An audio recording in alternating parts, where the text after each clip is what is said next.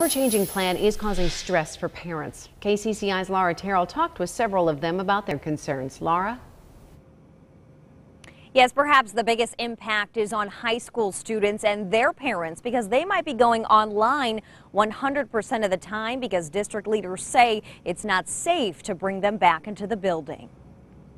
An odd offshoot is These Des Moines moms had a lot to say during their Friday evening neighborhood happy hour. This is going to be a challenge. It's going to be a challenge for all parents, particularly working parents. All of them are trying to balance the health and safety of their children in high school and in middle school. I had my our high school freshmen signed up to do the hybrid, which was just going to be one day a week. I think face-to-face time is very important. But face to face learning for Des Moines high schoolers might not happen at all if the district's new plan is approved. I actually applaud um, Superintendent Ahart for, for trying to do the right thing, you know, regardless of what the governor has to say. In a perfect world, we would be able to have just tiny pods and have a lot of outdoor space, and they could go to school. Tanya Swanda is a mom of seven and a teacher. You just worry. I mean, who's going who's going to get it? You know, the worst fear you have as a teacher is that something's terrible going to happen to one of your students.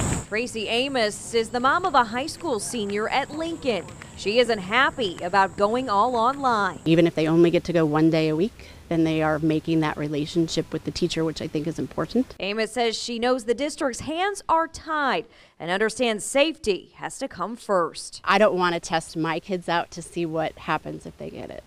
If they get the, the virus, what if my child is the one who dies? And all these parents have a lot of questions about if they go 100% online. What does that mean for activities? What does that mean for sports? What does that mean for homecoming? A lot of questions right now that no one has the answer to. Reporting live tonight, Laura Terrell, KCCI 8 News, Iowa's news leader.